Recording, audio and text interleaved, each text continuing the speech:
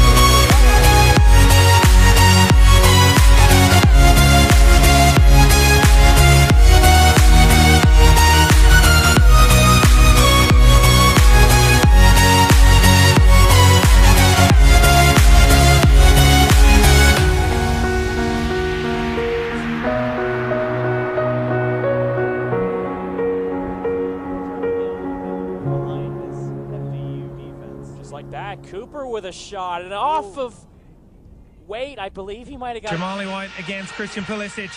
And it's saved from Jahmali Waite. The goalkeeper gets. Jahmali Waite against Christian Pulisic. And it's saved from Jahmali